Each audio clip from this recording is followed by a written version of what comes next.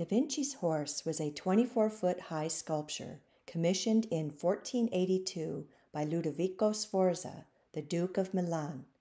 The horse was intended to be the largest equestrian statue in the world, a monument to the Duke's father, Francesco Sforza. Leonardo worked on the commission for almost 20 years, detailing a revolutionary method to cast the work in bronze, as justified in his carefully created notebooks. Based on ancient Greek and Roman examples, the horse type primarily realized in the Renaissance were the finest horses from the Iberian Peninsula, bred with other similar horse types throughout Europe. This horse type was widespread in the 15th through 17th centuries, the treasured mount of Europe's nobility, military officers, and gentry. Many Renaissance painters depicted this distinct, elegant horse with its arched, muscular neck, low tail set, convex head profile, natural high step movement, and long mane and tail. For his horse, Leonardo sought classical proportions based on measurements from existing ancient Greek and Roman equestrian statues. This Renaissance concept is depicted here by another well known Italian master, Raphael. In this drawing, Raphael noted the measurements from one such marble horse which still exists in Rome. Measuring classical proportions to the ideal horse type was a rather obsessive Renaissance practice, as seen here in a German print to the left and in a 1585 Italian manuscript below. Da Vinci would apply this same system upon the ideal living horse model, which he would measure and draw from the life.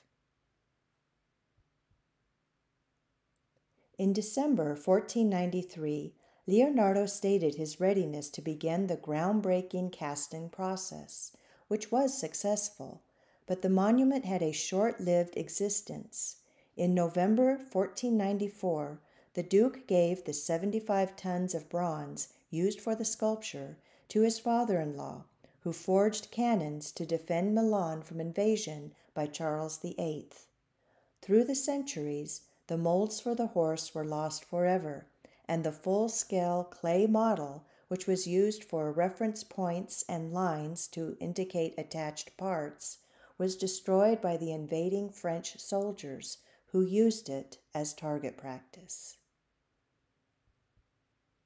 In 1999, based on his surviving notebooks and equine sketches, Da Vinci's 24 foot high bronze sculpture was realized again in modern times and now stands in Milan, Italy.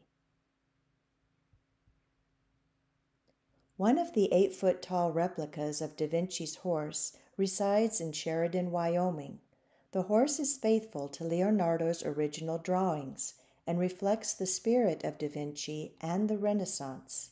Yet, in a broader context, the significance of the horse stands as a symbol of permanence against the destructiveness of war and as a symbol of friendship between nations.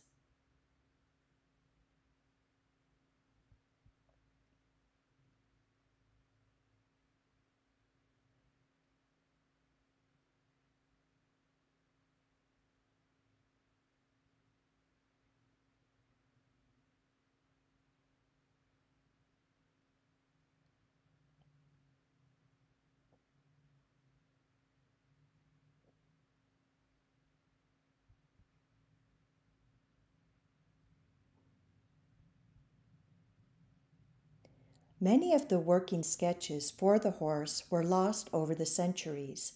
However, one set of notebooks, known as the Windsor Collection, came into the possession of the British royal family during the reign of Charles II, which included original drawings by Leonardo that have been together as a group since the artist's death in 1519. Select drawings from this surviving notebook in the royal collection will now be presented, showcasing Da Vinci's fond interest in the equine. Included are monument and measurement studies and the horse, directly drawn from the life.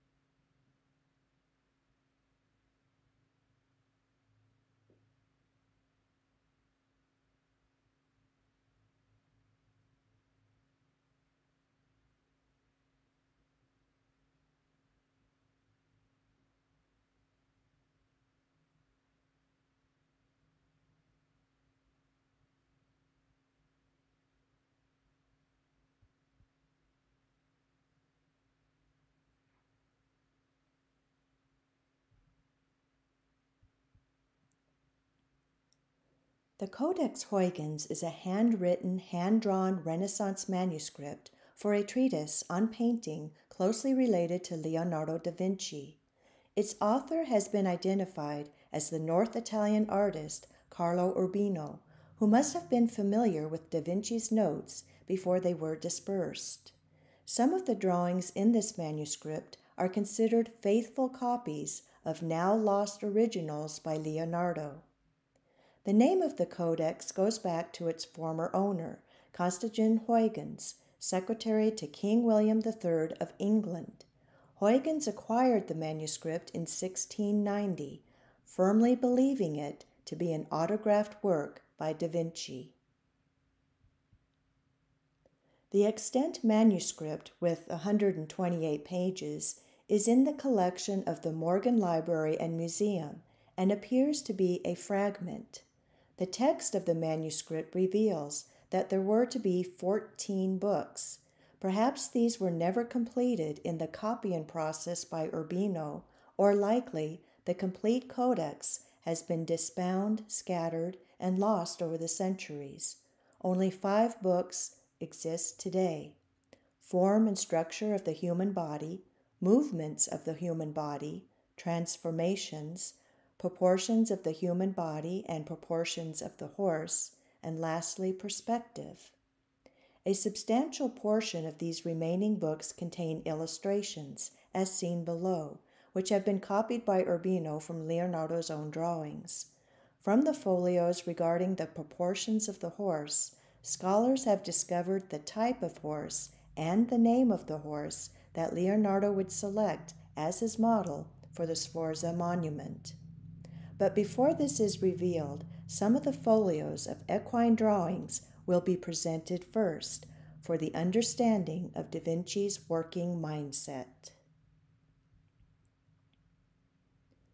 To the modern eye, these measurements appear confusing and unnecessary. However, there is a logic to this. I shall explain with brief simplicity according to my present knowledge. Renaissance artists would always approach all visual considerations from general to specific. This is true in their manner of seeing, in developing compositional designs, and also in both their drawing and painting process. The same general to specific mindset is also applied for proportions and measurements. Here, Da Vinci begins with the general, that is, basic proportions of a horse's head in profile divided in four equal parts. These proportions were likely based on existing equine sculptures from ancient Greece and Rome. The same four parts are seen in the frontal view of the horse's face to include the ears, creating five equal parts. Notice that additional measurements become more specific, indicated with marks halfway in between.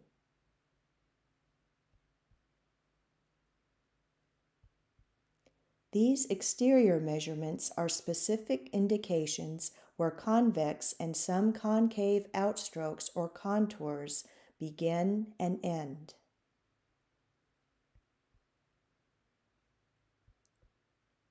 The inside straight line measurements are based on the concept of quantitative proportions, which measure the roundness or thickness of bodies or objects. These measurements are labeled from contour to contour. However, they record a certain three dimensional circumference. This is accomplished by a flexible tape measure wrapped around a horse's leg or bulging surface. Additional drawings with measurements follow.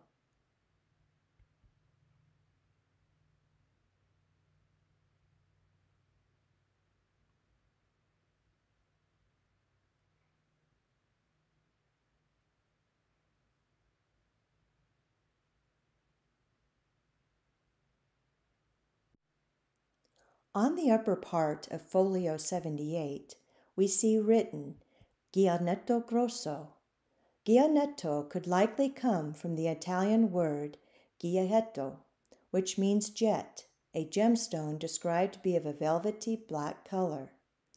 The Italian word grosso means extremely or exceedingly. Thus, could this be a description of the living horse model as being exceedingly velvety black? In these drawings, Leonardo appeared to be comparing two different horse sizes or horse types. The Sforza monument is based on an impressive stallion, and curiously, we see, written in the upper corner, Frisone, a French word based on the Italian word Frisoni, which means a native or inhabitant of Frisia. In English, the word translates to Frisian. Frisia is an old ancient country dating back to 500 BC when people first settled along the coast of the North Sea. They were tradesmen, seafarers, farmers, and horse breeders.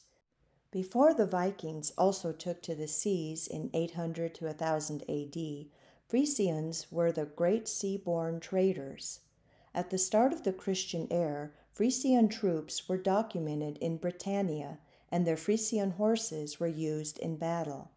By the Middle Ages, monks in Frisia were breeding horses, a cross between the larger docile European forest horse with lighter spirited Oriental types like the Barb and Turkomans.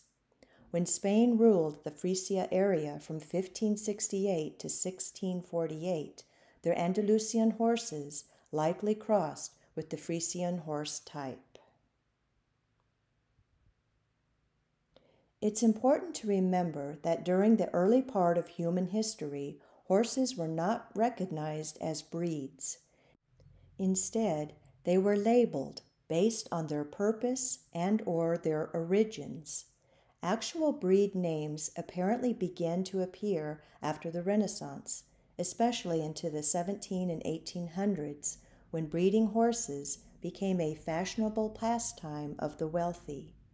They would replicate fine looking horses to a strict conformational and recognizable breed standard and begin stud book registries. The best known example is the thoroughbred, a very specific man made creation of an equine sport athlete.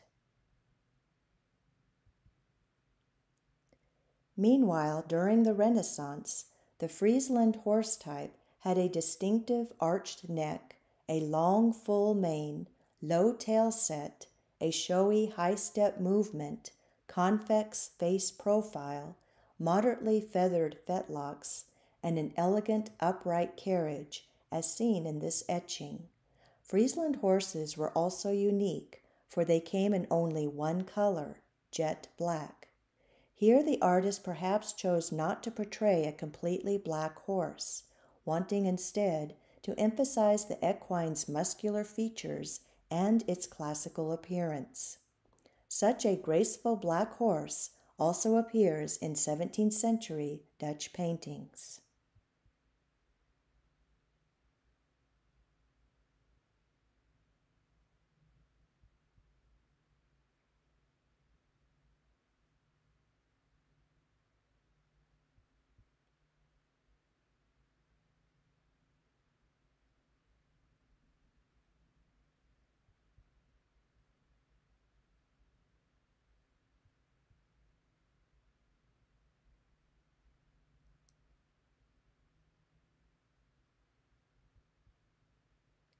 The ancient black equine was almost extinct by the early part of the 1900s. With the need for horses capable of heavier agricultural and industrial use, Frisians were rapidly being crossbred with draft horses. Today, from the immediate onset of global preservation programs and regulations set by the Frisian government, the horse has been saved and modernized to become a popular competitive sport horse, excelling in dressage, driving, and recreational riding. Continuing with the drawings from the Codex Huygens, the name of the horse that Leonardo used as his live model will now be revealed. Written on the top corner is this designation Siciliano, the same name appears in the right folio. Siciliano also is written on several other folios.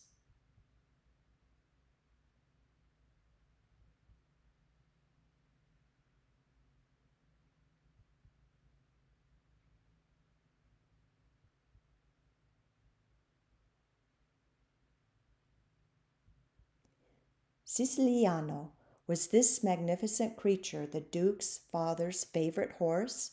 Was Siciliano a treasured gift from another noble? Or perhaps Leonardo's personal choice of the ideal living horse from which to base the statue? These questions are left for expert Da Vinci scholars and equine historians to answer. For now, the evidence found in the Codex Huygens establishes the true identity of this impressive stallion, forever immortalized into a bronze statue made after the great Italian master Leonardo da Vinci.